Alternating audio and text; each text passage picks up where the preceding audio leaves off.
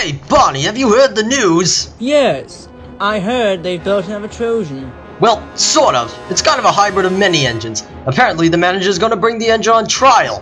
When do you think it will be ready? Ah! How does now sound?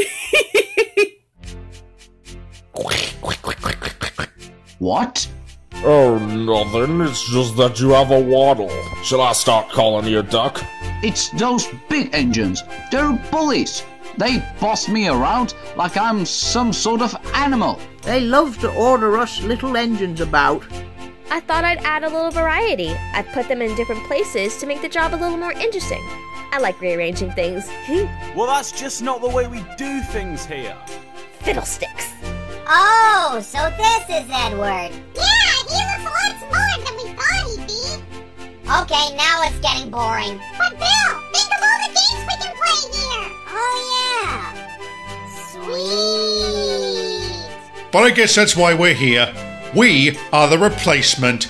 Let me guess, you overeated. Why, yes. Do you think there's a problem with us that they didn't catch? Apparently, it's happening to other Class 28s as well. I tell you, the writing is on the wall for us.